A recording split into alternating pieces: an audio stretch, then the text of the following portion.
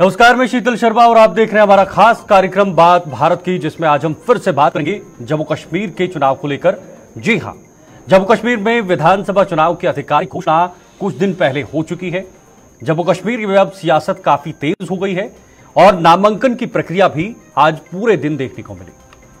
सुबह आज नामांकन प्रक्रिया शुरू हो गई, क्योंकि आज पहले चरण के नामांकन की आखिरी तारीख थी, यानी आखिरी दिन था, और आज नामांकन करना ज़रूरी था। लेकिन उससे पहले जब हमने देखा तो सभी राजनीतिक पार्टियों ने गहरे चिंतन मंथन के बाद जो प्रत्याशी हैं, उनको सामने रखा। लेकिन उसमें भी विवाद देखने को मिला, चाहे वो भारतीय जनता पार्टी हो, या कांग्रेस नेशनल कॉन्फ्रेंस का गठबंधन हो, उसमें सीट शेयरिंग का मामला। वहाँ पर वाद विवाद हुआ। बीजेपी के अंदर भी, बीजेपी के कई सारे लोगों में भी आक्रोश देखने को मिला, गुस्सा देखने को मिला, नाराज़गी देखने को मिली। अपनी पार्टी के प्रति कहीं ना कहीं उनमें गुस्सा था। कि आखिर किस तरह से केंद्रीय नेतृत्व ने यह फैसला लिया और ये टिकट वितरण का कार्यक्रम रखा। कई सारे लोग नाराज़ भी दिखे और कल बीजेपी के पार्टी ऑफ़िस में काफ़ी ज़्यादा विवाद भी हुआ और उस विवाद के बाद खुद जो बीजेपी के अध्यक्ष प्रदेश अध्यक्ष उन्हें सामने आने पड़ा और उन्हें सफ़ाई देनी पड़ी। लेकिन ये कारवा यही नहीं थमा। उसके बाद कांग्रेस और नेशनल कॉन्फ्रेंस के बीच का जो गठबंधन है या जो सीट शेयरिंग का फॉर्मूला है उस पर भी सहमति बनते हुए नहीं दिखाई दी। देर रात तक, देर रात तक गहन चिंतन मंथन हुआ, लेकिन उसके बाद भी जो कैंडिडेट या जो प्रत्याशी पहले से तय थे, कुछ ऐसी सीटें हैं जहाँ पर प्रत्याशी तय थे, एक बड़े चेहरे के रूप में, लेकिन उसके बाद उनका पत्ता जो है वो साफ़ हो गया, कट गया। ऐसे में अब जो सियासी सरगर्मियाँ हैं, वो काफ़ी ज़्यादा हो गई हैं। चारों तरफ़, गलियारों में जो है, सिर्फ़ और सिर्फ़ जम्मू कश्मीर की राजनीति को लेकर चर्चा हो रही लेकिन अब वो तारीख जब आएगी, यानी 4 अक्टूबर, जिस दिन ये परिणाम निकलकर सामने आएँगे, उस दिन तस्वीर बिल्कुल साफ़ होगी कि आखिर जम्मू कश्मीर का किंग कौन होगा। जम्मू कश्मीर का राजा कौन बनेगा, कौन नई सरकार बनाएगा, दस सालों के बाद यहाँ पर सरकार में कौन होगा। वो जानेंगे, लेकिन उससे पहले देखिए, आज नामांकन था, और नामांकन में जब पूर्व मुख्यमंत्री उमर अब्दुल्ला ने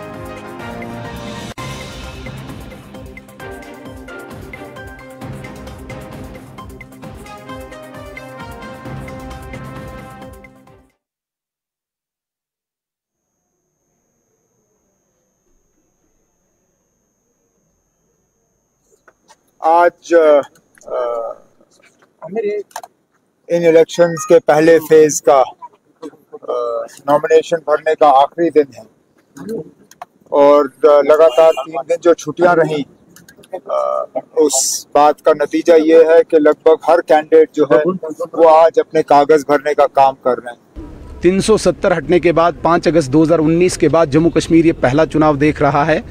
और 370 की बेड़ियों ने जिस प्रकार से यहाँ की मानसिकता को एक अलग दिशा पे चला रखा था, जिस दिशा पे यहाँ की कुछ मेन स्ट्रीम पोलिटिकल पार्टीज़ बौद्धिक संरक्षण, आतंकवाद, पाकिस्तान प्रायोजित आतंकवाद को देती थी, अलगाववाद को देती थी, यहाँ के डेवलपमेंट को रोकती थी, यहाँ पे भारत के कानूनों को रोकती थी, यहाँ पे अलग झंडा रखा था, उस सबको नष्ट करके, ध्वस्त करके नरेंद्र मोदी जी की सरकार ने पहली बार ये चुनाव जम्मू कश्मीर में विधानसभा का जो कराने जा रहे हैं, ये बिल्कुल अनोखा और विचित्र चुनाव होगा।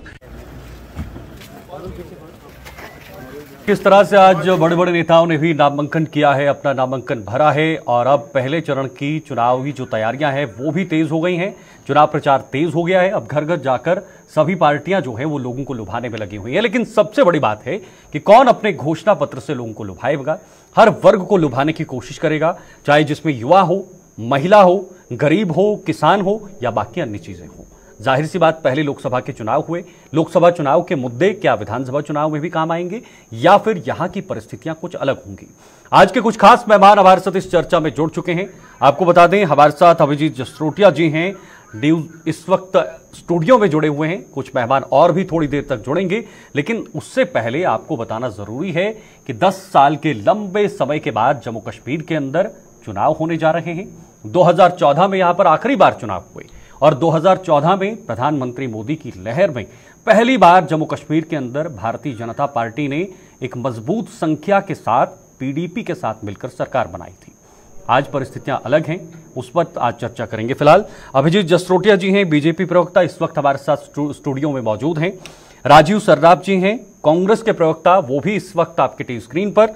और आदर्श गुप्ता जी हैं वरिष्ठ पत्रकार हैं, वो भी इस वक्त हमारे साथ ज्वाइन हो चुके हैं। बहुत बहुत स्वागत है आप सभी का हमारे साथ जुड़ने के लिए और इस खास चर्चा में, इस खास विषय पर हमारे साथ चर्चा करने के लिए। बहुत बहुत शुक्रिया समय देने के लिए। अभिजीत जी, मैं चर्चा से शुरुआत आप ही से करना चाहूँगा। अभिजीत जी, चुनाव की जो बिगुल है, वो बच चुका है जम्मू कश्मीर के अंदर।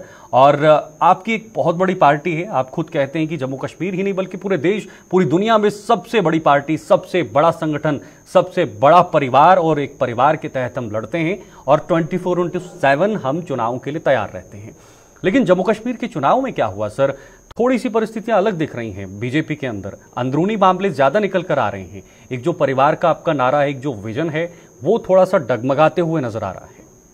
देखिए ऐसा कुछ नहीं है क्योंकि जिस तरह से आपने भी कहा और मैं अक्सर कहता रहता हूँ कि केवल हिंदुस्तान की नहीं विश्व की सबसे बड़ी पार्टी है। उससे बड़ी बात यह कि एक बड़ी डिसिप्लिन पार्टी है कैडर पार्टी है। जहाँ पर सभी के सभी लोग जो है वो हमेशा आपको लोगों की खिदमत करते नज़र आएँगे। तभी कोरोना काल में सबसे शादते किसी ने दी थी तो भारतीय जनता पार्टी करें हम्म। रही बात छोटे मोटे अगर मन मुटाव इसमें कुछ है तो उनको भी कल ही आप देखिए कि सब कुछ जो एक प्लेटफॉर्म पर आ जा चुके हैं क्योंकि बड़ी चैलेंज तो ये है कि जिस तरह से कांग्रेस और नेशनल कॉन्फ्रेंस सबके सब इकट्ठे मिलकर चुनाव लड़ने की उन्होंने ठानी है और हमारे खिलाफ जो मोर्चा फैला हुआ है। लेकिन खैर इस तरह की स्ट्रेटेजी में नहीं किए गए आखिरकार भारतीय जनता पार्टी सबसे बड़ी पार्टी बनकर।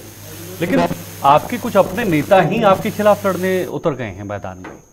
मैं किश्तवाड़ की बात करूँ वहाँ पर भी देखने को मिल रहा है। देखिए इस तरह से होता है कि हमेशा कहीं ना कहीं कुछ लोग जो होते हैं ठीक है अभिजीत रोकना चाहूँगा फ़िलहाल एक मिनट के लिए आपका ऑडियो नहीं जा रहा है। माफ़ी चाहूँगा लेकिन तब तक मैं राजीव सराब जी आपके पास आऊँगा जब तक अभिजीत जी का ऑडियो ठीक हो जाएगा। राजीव जी आप फाइनली आप दोनों के बीच जो मंथन है वो हो गया है चाहे वो नेशनल कॉन्फ्रेंस हो या फिर कांग्रेस हो। लेकिन जिस तरह से बीजेपी या फिर गृह मंत्री अमित शाह के जो सवाल थे खासतौर पर मैनिफेस्टो को लेकर क्या वो तालमेल आप बिठा पाए हैं नेशनल कॉन्फ्रेंस के साथ? राजीव जी।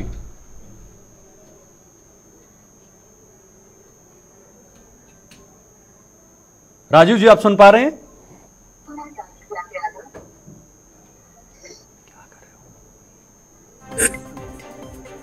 चले, लगता है राजीव जी, फ़िलहाल उन तक भी आवाज़ नहीं पहुँच पा रही है। तकनीकी रूप से कोई यहाँ पर दिक्कत खड़ी हो रही है। लेकिन जे के विधानसभा चुनाव में जो पहले चरण में मतदान होने हैं उसकी तमाम जो सीटें हैं यानी जो क्षेत्र हैं वो आपके टीवी स्क्रीन पर हैं।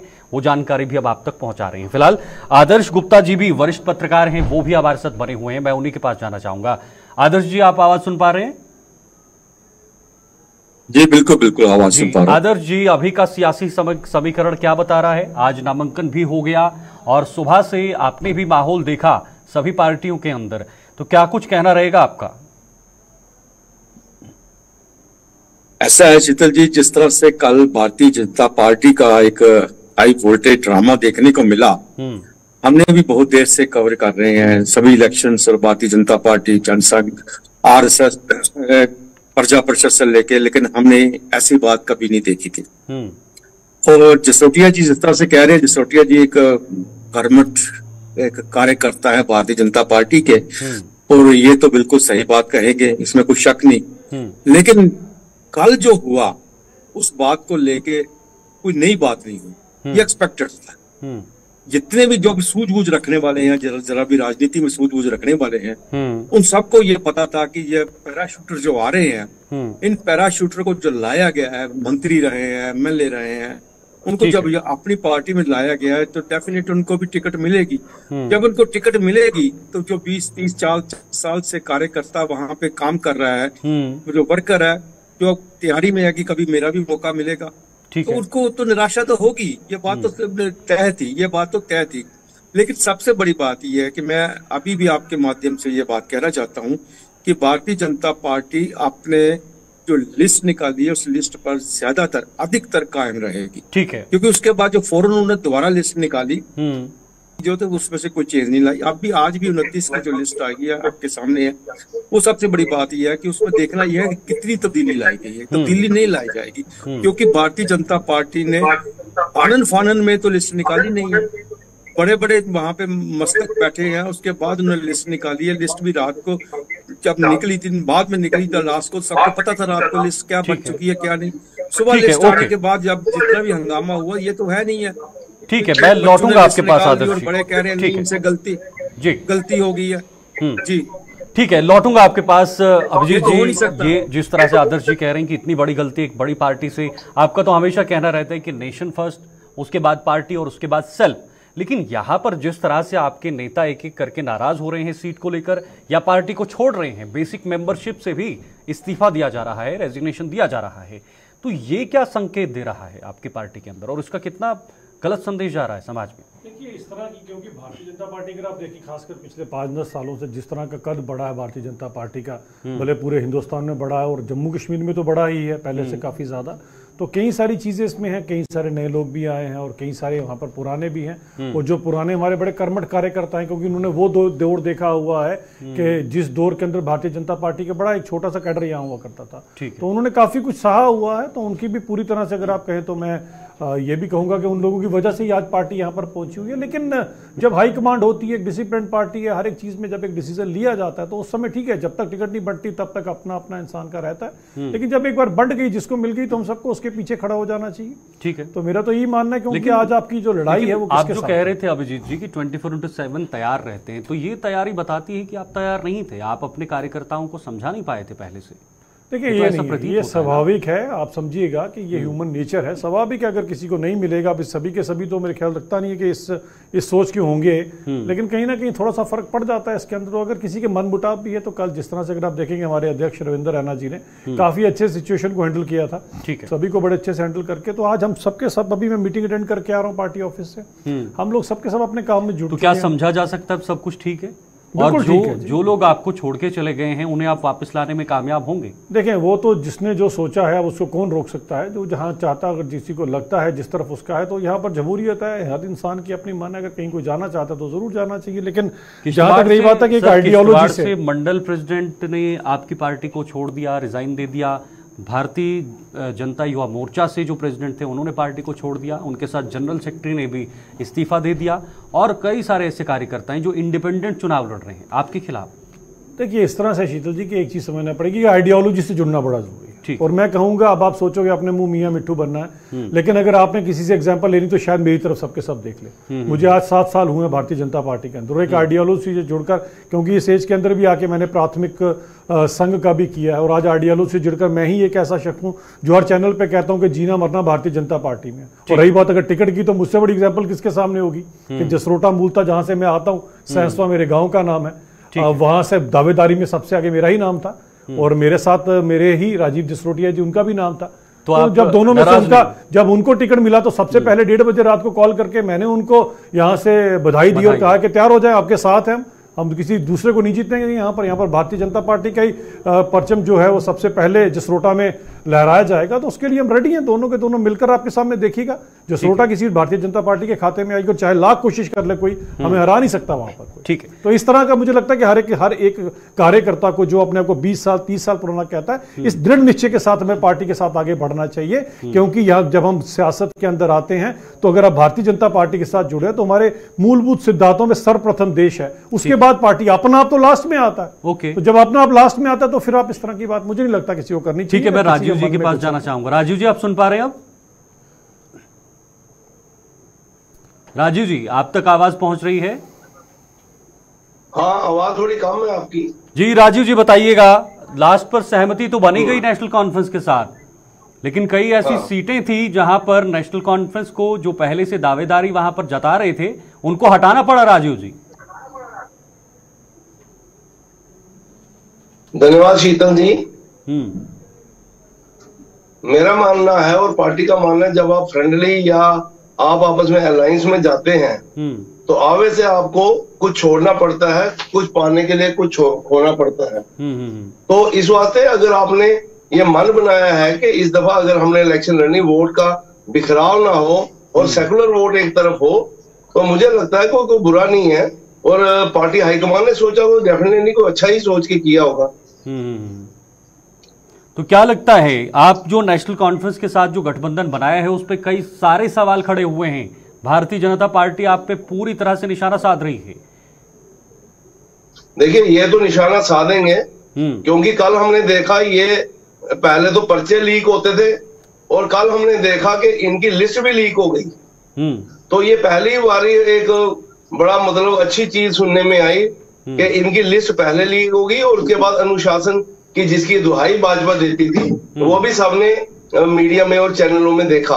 हम्म। लेकिन मैं आपको फिर भी बताऊँ जो सेकुलर वोट है जो लाइक माइंडेड वोट है उनको इकट्ठा करने का प्रयास है और हम उसमें काफ़ी हद तक कामयाब होंगे क्योंकि डिवाइड एंड रूल वाला काम इनका नहीं चलेगा और लोग आप समझ चुके हैं कि जो तो इन्होंने की आप बात हमें यूटी के नाम पे जो तो इन्होंने हमारे ठगा है जो जम्मू का कश्मीर की जनता को धोखा दिया है जो सपने दिखाए थे। मैनिफेस्टो को समर्थन कर रहे हैं आप? हाँ?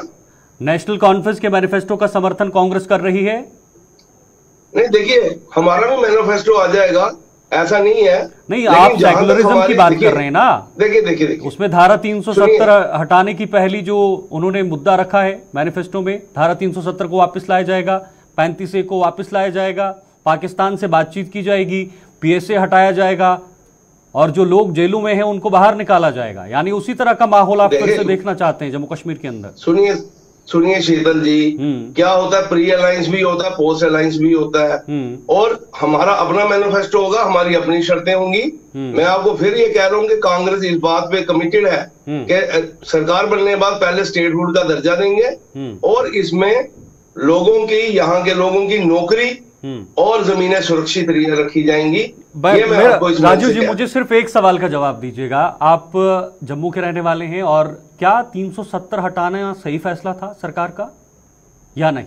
बस इतना मुझे जवाब चाहिए। अगर एक नागरिक होने के जी ऐसा है कि सुप्रीम सुप्रीम कोर्ट ने इसमें अपना वर्डिक्ट दे दिया तो अब इसमें बात करने की कोई गुंजाइश हमारी नहीं रहती। जब सुप्रीम कोर्ट का वर्डिक्ट आ चुका है। लेकिन उसके बावजूद भी जो 370 जब इन्होंने तोड़ा इन्होंने हमारी नौकरियाँ सारी कैंसिल कर दी जितनी लोगों ने भरे हुए थे और जिनकी नौकरियाँ मतलब लगनी थी या जो भी होना था वो नौकरियों का और जमीनों का जो नुकसान हुआ और उसके बाद तरह तरह के आउटसाइडर आके यहाँ काम लिया। यहाँ मतलब मैं फिर बोलूँ कि यहाँ शराब माफिया एक्टिव हो गया। यहाँ खनन माफिया एक्टिव हो गया। उसके बाद यहाँ ड्रग्स का काम बढ़ गया। क्राइम इतना है अगर आप किसी नॉर्मल एसएचओ को पूछोगे तो वो कानों को हाथ लगाएगा क्राइम उसको समझ ही नहीं आ रहा। इतना क्राइम जम्मू में हो चुका है। लेकिन पर्यटकों की संख्या भी तो बड़ी है राजीव जी। वो आप मानेंगे नहीं मानेंगे? सर ऐसा है अमर देखिए देखिए अमरनाथ यात्रा के वाले भी जोड़ लो और माता वैष्णो देवी वाले भी जोड़ लो तो इतने लगभग आते ही थे। तो पहले अमरनाथ यात्रा नहीं होती थी आप पर्यटक नहीं नहीं आप उससे हमारे पर्यटक आ रहे हैं उससे हमारा काम नहीं चलता। आप ही के चैनल आतंकवाद में कमी आई है, सर? याद है आज से राजू महीना जी, आतंकवाद में कमी आई है? विनोद जी के चैनल पे टूरिज़्म वाले आए होटल वाले आए थे और टैक्सी वाले आए थे हम्म। वो कह रहे हैं कि आतंकवाद में कमी हुई है राजू हमारे पास काम ही नहीं है आतंकवाद में कमी आई है पत्थरबाजी में कमी हुई है? कमी नहीं आई आतंकवाद जम्मू आ गया आपके रियासी में आतंकवादी हमला होता है आपके कठुआ में हमला होता है हम्म। हमारे रामनगर में होता है और कैप्टन शहीद होता है तो हम कहा और हाई कोर्ट में एक बम की पुष्टि की जाती है एक बम वहाँ मिलता है हम्म। तो आप कैसे कह सकते हो आतंकवाद कंट्रोल जो जम्मू पीसफुल रहा उसमें आतंकवाद दरवाजे पे खड़ा है? ठीक है ओके। अभिजीत जी विभाजन की राजनीति आप पर यह आरोप है। ये सेकुलर ये चाहते हैं कि सेकुलर वोट इनके पक्ष में आए और ये इस कोशिश में है ये खुद कहना है कांग्रेस का कि सेकुलर वोट जो है हमारी तरफ़ जा रहा है। आप पे विभाजनकारी की राजनीति राष्ट्रवादी की राजनीति या फिर तोड़फोड़ की राजनीति का आरोप लगा रहे हैं। देखिए कांग्रेस किस मानसिकता से ग्रसित आप एक चीज़ सोचिए कि हो ना हो कुछ हमें बस केवल और केवल सत्ता चाहिए सीटें चाहिए और इतना लोभ है इनको इन चीज़ों का। कि आप देखिए कि थोड़े दिन पहले ही जब नेशनल कॉन्फ्रेंस अपना मैनिफेस्टो देती है और उस मैनिफेस्टो को मैनिफेस्टो को उनका वो नहीं है नया को पुराना मैनिफेस्टो नहीं है वो कौन सा मैनिफेस्टो है? वो मैनिफेस्टो है इलेक्शन का मैनिफेस्टो जिसमें वो क्लियर कट कहते हैं कि पाँच अगस्त दो हज़ार उन्नीस के बाद जो जो निर्णय लिए उनको हम सब वापस कर देंगे। तीन सौ सत्तर का हम समर्थन करते हैं ये सब कुछ करने की बात की गई। अब आप यहाँ पर सोचिए कि क्या कांग्रेस का समर्थन के साथ इसी टाइम हुआ या पहले से हुआ है? अब इस टाइम समर्थन हुआ तो यानी कि कांग्रेस ये चाहती है राहुल गांधी जी की पार्टी और राहुल गांधी जी ये चाहते हैं कि वेस्ट पाक रिफ्यूजीज पीओजे केस जिनको 60-70 साल बाद उनकी जमीनों के मालिकाना हक लिए वो राहुल गांधी जी उनसे छीनेंगे। उसके बाद वाल्मीकि समाज से इसी नेशनल कॉन्फ्रेंस और कॉन्फ्रेंस ने पूरे 30 साल अपनी गंदगी साफ़ करवाई। उनके बच्चे पीएचडी करने के बाद भी गंदगी साफ़ कर रहे थे। तो आज अगर आप देखेंगे तो राहुल गांधी जी यही चाहते हैं कि वो पढ़े लिखे बंदे बच्चे जो हैं वाल्मीकि समाज के वो फिर से यही काम करें। उसके बाद आप देखिए तो आपके सामने जो पहाड़ी समाज है जो गुज्जर बकरवाल समाज है जिनको यहाँ पर पोलिटिकल रिजर्वेशन और बाकी रिजर्वेशन मिली है राहुल गांधी जी उनकी रिजर्वेशन पे सेंध लगाना चाहते हैं। तो ये कौन सी मोहब्बत की दुकान है जिसके नीचे ये कब्रिस्तान बनाने के लिए उतारू हो चुके हैं? क्योंकि डेढ़ लाख से ज़्यादा लोग तो इनके इन्हीं मनसूबों के चलते बलि चढ़ गए जिसमें शमशानों में और कब्रिस्तानों में है। और अब ये चाहते हैं कि वही अमन सुकून सुख चैन जो है यहाँ से चला जाए और हम नेशनल कॉन्फ्रेंस के साथ मिलकर वही बातें करें वही ऑटोनॉमी वही हम दूसरा अपने तिरंगे के अगेंस्ट आज कांग्रेस जो है वो दूसरा झंडा भी लाने की फिराक के अंदर है। ठीक है। तो इसके अंदर आप सोच सकते हैं कि ये धोरे मापदंड की राजनीति आज राहुल गांधी जी को पूरे देश को जवाब देना पड़ेगा कि जम्मू कश्मीर की जिन बच्चियों को अपने वालिद की प्रॉपर्टी के मालिकाना जो हक मिले वालदेन की प्रॉपर्टी के आज राहुल गांधी जी क्यों उसका विरोध कर कर उनसे ये हक वापस छीनना चाहते हैं? क्यों ये चाहते हैं कि ढाई करोड़ सैलानी फिर से ना आए फिर से वो जो आम आदमी के स्टैंडर्ड ऑफ़ लाइफ इंप्रूव हुआ वो ना हो। और फिर से चाहते हैं कि ढाई लाख की बैकडोर अपॉइंटमेंट हो जिसमें इन्हीं के चाचे भतीजाओं को और इन्हीं के रिश्तेदारों को नौकरियाँ मिले तो ये राहुल गांधी को आज पूरे देश को स्पष्ट करना पड़ेगा कि किस तरह की मानसिकता से राहुल गांधी और कांग्रेस आज ग्रसित हो चुकी है। ठीक है मैं राजू जी, आपसे जवाब चाहूँगा, लेकिन उससे पहले मैं आदर्श गुप्ता जी के पास जाऊँगा, उसके बाद आप इसका, इनका जवाब दीजिएगा। आदर्श जी, दोनों नेताओं को आपने सुना, मुद्दे जो हैं वो अपनी अपनी तरफ़ से रखे जा रहे हैं। आप दोनों के मुद्दे, या असल मुद्दे जम्मू कश्मीर के अंदर क्या हैं, जो जनता के समक्ष उठने चाहिए, पॉलिटिकल पार्टीज़ की तरफ़ से, जो वाकई में उठने चाहिए जनता की भलाई के लिए? शीतल जी मैं पहले भी आपको कहा कि भारतीय जनता पार्टी जो है हम्म। उसकी एक ही नियत है कि जम्मू कश्मीर में अपनी सरकार बनाए। लेकिन कल जो ड्रामा हुआ वो ड्रामे को देखते हुए लगा कि भारतीय जनता पार्टी के सामने एक बहुत बड़ा कष्ट सा आने वाला है, लेकिन मुझे नहीं लग रहा कि ज़्यादा बड़ी बात होगी क्योंकि भारतीय जनता पार्टी इसमें जल्दी ही इसमें काबू पा लेगी क्योंकि जो लिस्ट आई है उसमें चेंजेस नहीं लाई गई। और लग भी रहा है कि बहुत बड़ी चेंजेस लाने वाले भी नहीं है ये। लेकिन सबसे बड़ी बात है कि कांग्रेस से अगर नेशनल कॉन्फ्रेंस की बात करें जम्मू कश्मीर की जब इतिहास की बात करते हैं जम्मू कश्मीर की अगर राजनीति की बात करते हैं तो हमें दोनों तरफ़ देखना पड़ता है। कांग्रेस ने जिस तरह से नेशनल कॉन्फ्रेंस के सामने घुटने टेक दिए हैं इससे पहले कभी नहीं था। कि नेशनल पार्टी जो अपने आप को जम्मू कश्मीर के तीनों खितों में कहती है तीनों प्रोविंस में अपने आप को ज़िंदा रखती हैं। वो सिर्फ़ बत्तीस सीटों पे जाके समझौता कर लेती है और 51 सीट इक्यावन सीटें नेशनल कांग्रेस की। वो पाँच सीटों पे फ्रेंडली मैच कर कर रहे हैं ये। मुझे ये बताइए एक नेशनल कॉन्फ्रेंस की नीयत ये है कि किसी ना किसी तरीके से उन कैंडिडेट्स को हराया जाए जो नेशनल कॉन्फ्रेंस को छोड़कर भारतीय जनता पार्टी में चले गए हैं। तो क्या कांग्रेस जो है उनका साथ दे रही है इस मामले में या उनका विरोध करे भारतीय जनता पार्टी को फ़ायदा दे रही है। अगर हम नगरोटा की बात करें तो नगरोटा में देवेंद्र राणा को हराने के लिए नेशनल कॉन्फ्रेंस ने पूरा ज़ोर लगाएगी ये मैं आपको बता दूँ। लेकिन कांग्रेस वहाँ फ्रेंडली मैच खेल के देवेंद्र राणा को फ़ायदा उठाने देना चाहती है। इसी तरह दूसरी सीटों पर फ़ायदा देना चाहती है। लेकिन सबसे बड़ा सवाल जो मेरा ये है कांग्रेस से है और नेशनल कॉन्फ्रेंस से है, क्योंकि दोनों समझौता किया सीट पे। बिल्कुल। कांग्रेस और नेशनल कॉन्फ्रेंस के गठबंधन के बाद हम्म। जसरोटिया साहब भी अच्छी तरह सुन ले। गठबंधन के बाद US duplicate doctor Farooq Farooq Abdullah से मिलने क्यों गया? हम्म। उसके पीछे क्या राजा क्या उनसे बात हुई? ये बात जो है पब्लिक डोमेन में आनी चाहिए। एक अमेरिकन डोमेन में जाके उनसे बात करता है गठबंधन के फ़ौरन बाद वो क्या होती है क्या नहीं इसके पीछे क्या है देश से जानना चाहता है। ये सबसे बड़ा सवाल कांग्रेस के सामने है ठीक है राजू जी इस सवाल का जवाब कैसे देंगे राजू जी? और साथ ही साथ आदर्श जी ने कहा है कि आपने जम्मू कश्मीर के अंदर घुटने टेक दिए नेशनल कॉन्फ्रेंस के सामने। पीडीपी के लिए भी आपने दरवाजे खोल दिए हैं। तो क्या आपका मकसद सिर्फ़ और सिर्फ़ भारतीय जनता पार्टी को हराना है या फिर जनता की भलाई है? ने जो कहा आदर जी का ये जर्नलिस्ट है इनका अपना एक विजन है इनकी एक अपनी सोच है। मैं उस पर कोई बात नहीं कर पाऊँगा। नहीं सवाल का जवाब दीजिए ना राजीव जी। सवाल जो पूछा गया है हाँ। आदर्श जी की तरफ़ से। हाँ मैं ये कह रहा हूँ कांग्रेस ने कोई घुटने नहीं टेके आपको लग रहा है लेकिन हमें मैंने फिर कहा सेकुलर ताकतों को मज़बूत करना है सर, तो हमें लग नहीं रहा है, दिख रहा है। जम्मू कश्मीर को इक्यावन और 200 में 32 बांट का फॉर्मूला बना है हमारे जमीनों जम्मू का कश्मीर में। हम हमारे साथ गलत जम्मू के लोगों बीइंग ए सिटीजन हमारे साथ गलत हुआ नौकरी गई जमीनें गई हम आज लोग बेरोजगार घूम रहे हैं नशे में घूम रहे हैं। नशा युक्त, जम्मू हो गया। तो मुझे ये लगता है ये हमारा जो तो समझौता नहीं है नेशनल इंटरेस्ट में हमें दिख रहा है कि ये सरकार अगर बनती है तो यहाँ के लोगों को सुख मिलेगा और इन लोगों की कहीं ना कहीं सर पहले पहले आप गठबंधन को तो बनाइए उसके बाद आप सरकार बनाइए पहले आप मैनिफेस्टोज को मिलाइए। आप सेकुलरिज्म की बात कर रहे हैं उधर से 370 की बात आती है। शीतल जी आपने पिछले इलेक्शन में देखा मोदी जी ने किश्तवाड़ में रैली की बाप बेटी की सरकार और बाप बेटे की सरकार पर उन्होंने पूरी तरह से फोकस किया। हम्म। और जम्मू के जो सीटें 25 बीजेपी की आई वो अलग मुद्दे पे आई और पीडीपी की अलग आई। लास्ट में दोनों की सरकार मिलकर बन गई। हम्म। तो कहने का मतलब है नेशनल इंटरेस्ट में या सरकार बनाने में कई चीज़ों से समझौता किया जाता है और करना भी पड़ता है।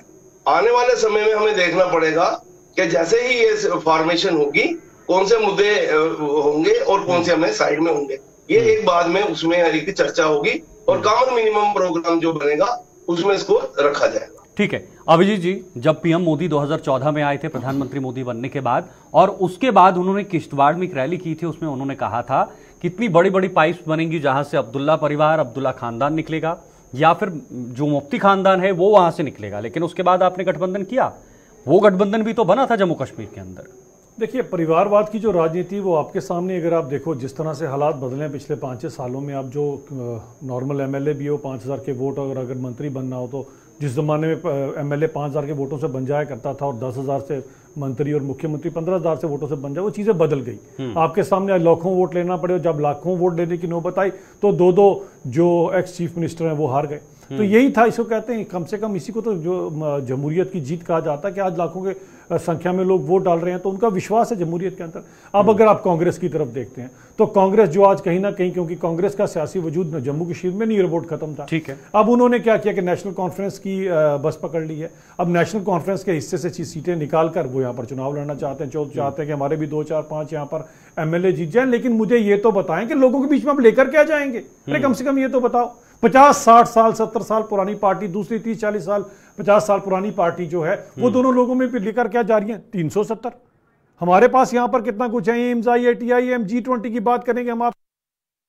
टनलों की बात करेंगे। हम बताएँगे कि लद्दाख जब से लद्दाख है तब से आज पहली बार वो बारह महीने देश के साथ जुड़े जुड़ा जुड़कर रहेगा। हमारे पास इतना कुछ है। आपके पास क्या है? वही तीन सौ सत्तर की लकीर पीटने के लिए। नई चीज़ तो कुछ नहीं इनके पास। राजू जी तो दस सेकंड है आपके पास। मेरे पास समय थोड़ा कम है। राजू जी दस सेकंड में जवाब दीजिएगा। वाले 370 पे वोट यूटी पे वोट मांगेंगे? पहली बात। और दूसरा 170 हटने के बाद जम्मू कश्मीर में विकास हुआ है तो क्या उस एजेंडे के साथ, उस आधार पर यहाँ पर लोग अब भारतीय जनता पार्टी को अपनाएँगे, या फिर नेशनल कॉन्फ्रेंस, या फिर कांग्रेस का जो गठबंधन है, वो यहाँ पर जो है, वो बीजेपी पर भारी पड़ेगा? ये देखना बेहद ज़्यादा दिलचस्प है। आज के लिए फ़िलहाल इतना ही, दीजिए इजाज़त, नमस्कार।